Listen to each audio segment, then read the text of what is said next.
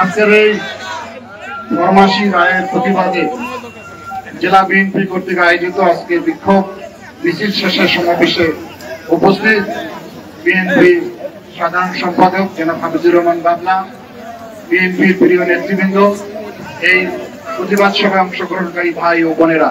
আসসালামু আলাইকুম। খেলা যখন শেষ পরিসমাপ্তি ঘটে, তখন প্লেয়াররা ফাউল খেলে।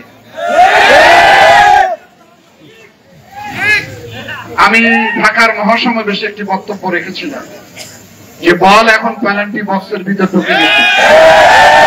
শুধু কিক নেওয়া বাকি। কিক নেবে আমাদের দলের ক্যাপ্টেন জনাব তারেক রহমান। কখন না গোল হয়ে যায়। সেই কারণে ক্যাপ্টেনকে এখন লাল কার্ড দেখিয়েছে। ওনার লাল কার্ড যে চলে না, সেটা উনি নিজেও জানেন। অচল পয়সা আছে না? অচল পয়সা তো সবসময় চলে না। হাসিনা তো বাংলাদেশের অচল পয়সা।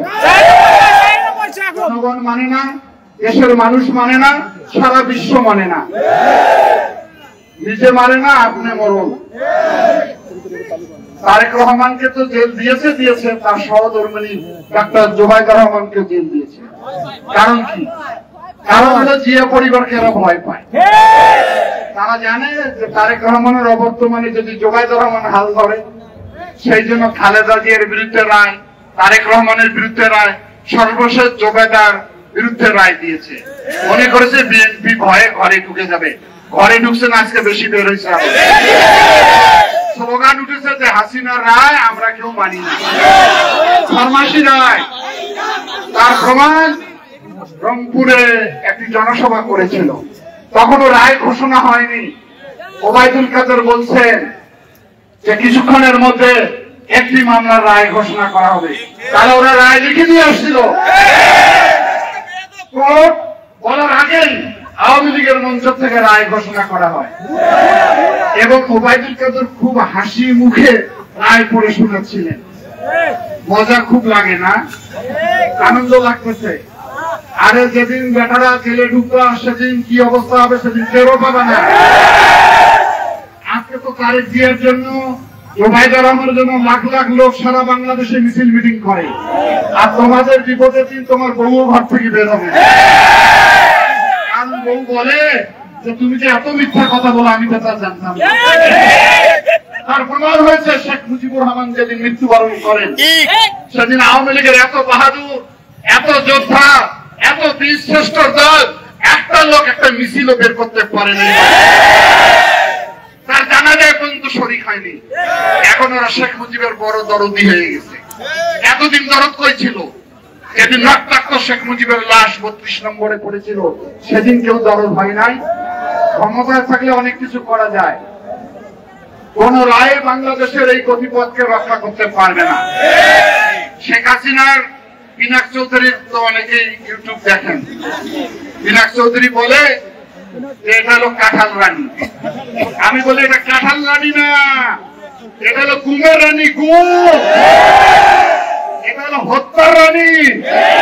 এটা হলো ভোট চোরের রানী।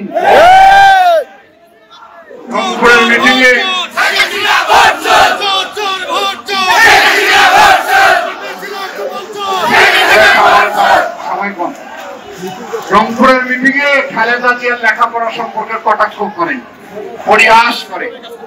কতটা নিলজ্জ হলে একজনের লেখাপড়া শিক্ষা নিয়ে যিনি ওই রকম পদে থেকে নিলজ্জের মতো কথা বলতে পারেন। শেখ হাসিনা তোমার মতো ডক্টর আমাদের দরকার নাই। যে ডক্টর মানুষকে খুন করে। তোমার মতো এম এ পাস আমার দরকার নাই যে এম এ পাস লোক দুর্নীতি করে। তোমার মতো ডক্টর শেখ হাসিনার দরকার নেই যে ভোট চুরি করে। সুতরাং চোরের শিরোমণি হয়ে অন্যকে আঘাত করে কথা বলে তারা এখন রংপুরে জনসভা হয়েছে। আমার কিছু গণমাধ্যমের কর্মী রংপুরের অতি উৎসাহী কিছু ভাই দেখি ফেসবুকে সমানে লিখছে আমাদের প্রাণের বৌমা। আমাদের গৃহবধূ রংপুরে আসতেছে মহা সমারোহে আসতেছে ভালো রংপুরের লোক অনেক আগ্রহ করে বসে থাকলেন যে রংপুরে অনেক কিছু দিবেন। এই সমাবেশ সাফল্যমণ্ডিত করার জন্য train free bus free biryani free, টাকা free, sari free, lungi free, গেঞ্জি ফ্রি। তারপরে শেখ হাসিনা যখন ভাষণ দেওয়া শুরু হয়েছে, মাঠ খালি আমাদের রংপুরের বধু রংপুরের বধু একবার তার স্বামীর নামটা উচ্চারণ করে। সে মানে না রংপুরের মানুষকে। তার প্রায় তো স্বামীর কথাও বলে নাই। যে আমি রংপুরের বধু রংপুরের বউ। সে কথা কি বলেছে? আপনারা একবারই ভালোবাসা দেখাইতে যান কেন? এত ভালোবাসা উঠছে পড়ছে নাকি আমাদের? উদ্বোধন করছে প্রাইমারি স্কুল লালমনিয়াদের বড় নেতারা একদম বড় পাঞ্জাবি পরে একদম অন্যরকম চুল কাট দিয়ে গেছে। যে লালমনিয়াদের নাকি দিবে? কি করিডোর এক্সপ্রেস।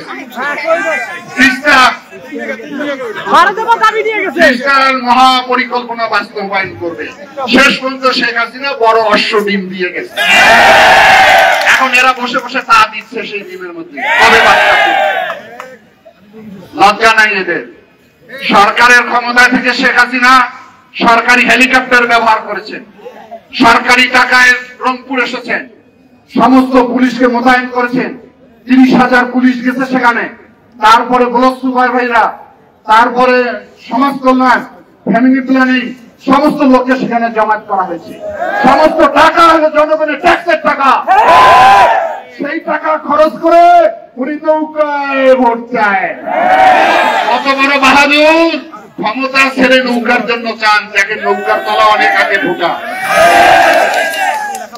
আমাদের টাকায় আমাদের ট্যাক্সের মঞ্চ বানিয়ে হেলিকপ্টার চলে আসে নৌকার চান এই জন্য তো আমরা বলি, শেখ হাসিনার আওতায় কোনো নির্বাচন অবাধ সুষ্ঠু হবে না। আর নমুনা দেখা যাচ্ছে এখনই। নমুনা হলো এরকম যে তারা সরকারি সব যন্ত্র ব্যবহার করে তাদের দলীয় প্রচারণা করেন আমার মনে একশো কোটি টাকা খরচ হয় জনসভায় কি পেয়েছে রংপুরের মানুষ অশ্বদিন ছাড়া? এখন ওবায়দুল কাদেরের সাথে কালকে আমেরিকার রাষ্ট্রদূত পিটার হফ মিটিং করেছেন মিটিং এর মুখ একদম পেঁয়াজ বসে গেলে কেমন হয়? ওরকম হয়ে গেছে। আর যখন সাংবাদিক জিজ্ঞাসা করল, ভাই, খবর কি ভিতরে? তাহলে ভিতরের খবর, বাইরের কোনো চাপ নেই। বিবেকের এতদিন চুরি করছে ওরা তাহলে বিবেক কেন এখন জাগ্রত হয়েছে? এখন আসল কথা মুক্তি বেড়েছে বিবেকের কারণে আজকে বাংলাদেশে যে ভিসা নীতি দেওয়া হয়েছে স্যাংশন দেওয়া হচ্ছে, এবং ইউএন মিশনে আমাদের শান্তিরক্ষা বাহিনীকে সাবধান করতেছে বারবার। তারা যদি সঠিকভাবে কাজ না করে, জনগণের উপর নির্মম নির্যাতন চালায়, তাদেরও শান্তি মিশনে যাওয়া বন্ধ করে দিবে। এই- অন্যায়, এই জুলুম আমাদের উপর শেখ হাসিনা টেনে নিয়ে আসছে। সে রাষ্ট্র ক্ষমতায় থাকার কারণে আজকে সারা বিশ্বের লোক বলছে বাংলাদেশে ভোট সুষ্ঠু হয় না। এদের কোনো লজ্জা হয় না। তাও এরা বলে যে আমরা আছি। রাস্তার ধারে যখন ট্রাক যায় দেখেন না কতগুলো লোক পিছন পাতি দিয়ে মাথাটা নিস্পর্শ করে। এই অবস্থা হয়েছে এদের। ও মনে করছে যে আমার মাথা তো বেঁচে গেছে পিছন তো নাই। এই অবস্থা এই,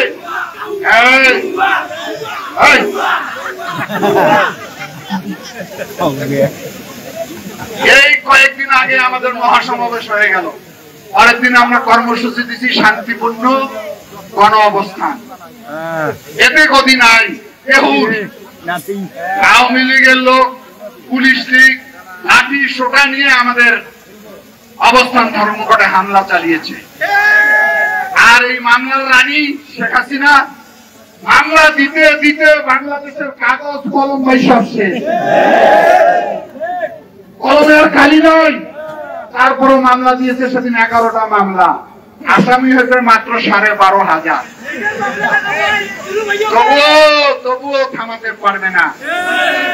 ওখানে কি হলো? আমাদের সিনিয়র নেতা গয়েশ্বর রায় এবং আমানুল্লাহ আমানকে কীভাবে নির্যাতন করছে সবাই ভিডিওতে দেখছে এরা হলো সর্প হইয়া দংশন করে, ওজা হইয়া ঝাড়ে।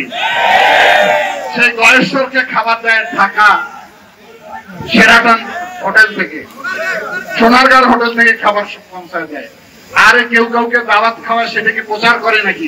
এরা কত নির্লজ্জ এরা কত নিচু মনের মানুষ। সেখানে সেই খাবারের ছবি তুলে ফেসবুকে দিয়েছে। ওই বিবির হারুনকে বলতে চাই মেঘে মেঘে অনেক বেলা হয়েছে, হারুন। অন্যায় করেছ। সময় এসেছে।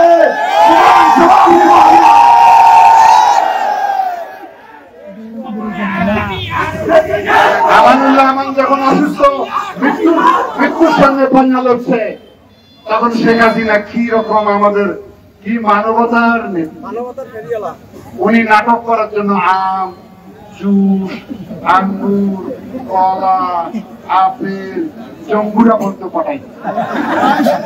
এখন মহাসচিব বলতেছে যে আমিও তো চলে গেছি আমার জন্য তো পানির বোতলও দেয় নাই। কেন দিয়েছে? তার কারণ হলো আমেরিকান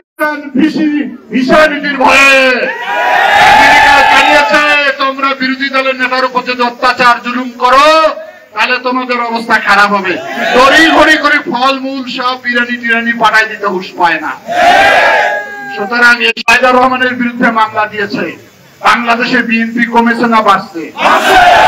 বাংলাদেশে এখন লক্ষ কোটি তারেক রহমান। ওই লন্ডন থেকে ডাক দিবে শেখ হাসিনার রশি ধরি দিব টান টান, ওর গদি হবে খান খান। সময় শেষ। মনে রাখেন, বেশি বিলম্ব করেন না। বেশি বিলম্ব করলে পরিণতি ভয়াবহ হবে। এখনও ভালো ভালোই আছেন। ক্ষমতা ছেড়ে কেয়ারটেকারকে ক্ষমতা দিন। আর যদি আমাদেরকে বেশি হাফসান, বেশি দৌড়ান, বেশি কষ্ট দেন, তাহলে তার পরিণত ভয়াবহ হবে।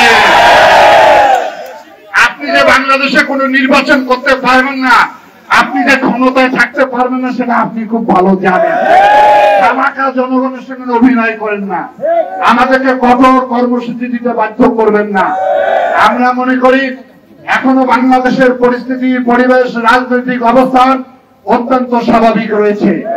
কিন্তু যখন সমুদ্রের ঘূর্ণিঝড় পাক দিয়ে ওঠে, তখন ঘর বাড়ি লোকালয় তস্তস করে দিয়ে যায়। বাংলাদেশের বিএনপি এবং রাজনৈতিক দল যখন ঘূর্ণিঝড়ের মোচর দিবে ওই শেখ হাসিনা কেন তৃণমূলের কোন নেতাও দেখা পাওয়া যাবে না?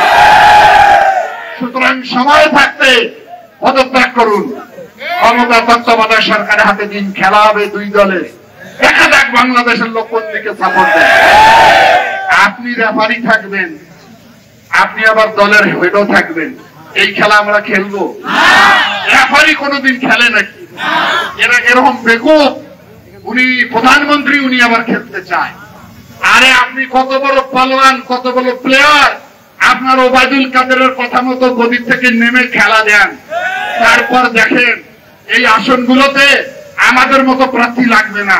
তৃতীয় সারির প্রার্থী দাঁড় করে দিলে আপনাদের জামানোর তাই আমরা মনে করি তারেক রহমানের বিরুদ্ধে মামলা দিয়ে আমাদেরকে দুর্বল করতে চায়, ভয় দেখাইতে চায়। জুজুর ভয় আমরা দেখি। চোর যখন পালা শুরু হয়, গৃহস্থ যখন ভোমা লাঠি বাইর করে, চোর কি পিছনে তাকানোর সময় পায়? লুঙ্গি দৌড় মারে সেই সময় আসছে এখন। লুঙ্গি খুলে দৌড়ার সময় এসে গেছে। সুতরাং আমি মনে করি, অতি সত্তর, কালক্ষেপণ না করে জনগণের ক্ষমতা জনগণকে দিন। জনগণ সাব্যস্ত করবে তার নেতা কারা? জনগণ তার ভোট দিয়ে নির্বাচিত করবে, তার নেতা। পুলিশ নির্বাচন করবে অফিসার ব্যালট ছিড়বে। ওই ভোট বাংলাদেশে আর হবে না। ওই আশা করেন না। এটা আপনার মামার বাড়ি নয়। বাংলাদেশ আপনার বাপের একার সম্পত্তি নয়। আমার বাবা সহ তিরিশ লক্ষ মানুষ শাহাদত বরণ করেছে এই দেশের জন্য। সুতরাং ইতিমধ্যে আমাদের অনেক নেতা কর্মী শাহাদত বরণ করেছে। প্রয়োজন আরও রক্ত দিব। তবু তোমাকে গতিতে আমরা রাখব না। প্রিয় ভাই ও বোনেরা যখন যে কর্মসূচি ঘোষণা করা হবে, প্রত্যেক কর্মসূচিতে টাকার আহ্বান না থেকে নিজেরা সজাগ থাকবেন। টেলিভিশনে দেখবেন, ফেসবুকে দেখবেন, সঙ্গে সঙ্গে সেই কর্মসূচিতে হাজির হবেন। অভিমান করে কেউ বলবেন না, আমাকে কেউ ডাকে নাই। টাকার আর সময় না টাকার আর সময় নাই। এখন শেখ হাসিনার পালার সময়। বেটি, বাচ্চা, কাচ্চা সবাইকে নিয়ে প্রয়োজন হলে রাস্তা অবরোধ করে থাকব প্রিয় ভাই বোনেরা, সামান্য নোটিশে বিপুল পরিমাণ নেতা কর্মীরা আজকের এই সমাবেশে উপস্থিত হওয়ার জন্য সকলকে আমার পক্ষ থেকে রক্তিম অভিনন্দন জানিয়ে আবারও তারেক রহমান, জোবাইদা রহমানের রায় বাতিল করে দিয়ে তাদেরকে বাংলাদেশে ফিরে আনার দাবি রেখে আজকে আমি বক্তব্য এখানে শেষ করলাম।